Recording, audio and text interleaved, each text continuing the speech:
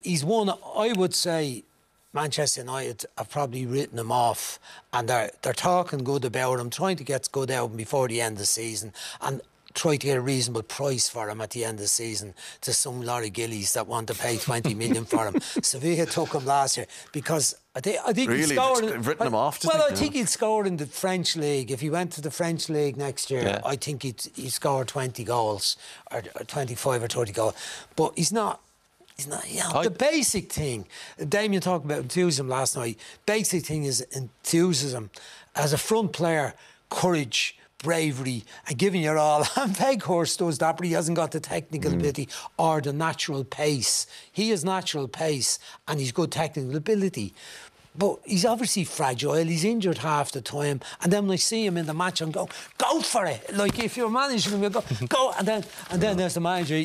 You're saying go for it, go for it. And every week, and then you're going, played well today, well done with it. And then your head is like, geez, I have to get someone else instead of him. And that's where they are at the moment. I mean, the... exactly. I, I don't know what his favourite position is. Because when I look at Anthony Martial, I think, right, he's got the speed, he's got the power he has to run in behind. He has to run in behind. But in all the clips that you show there, he's coming to the for the ball at his feet. There's only one where he's running behind, and it, it, it's that it's that willingness to run for the team without the ball, to make those runs, to create space for other people. I don't see that in his game. He's very it's all about him. Give it to me feet. I'll do something with it. Do something nice and then yeah, and then hand it over. Yeah, but he, like Brian says, he is lacking that courage and that instinct to be a, a real number nine. Uh,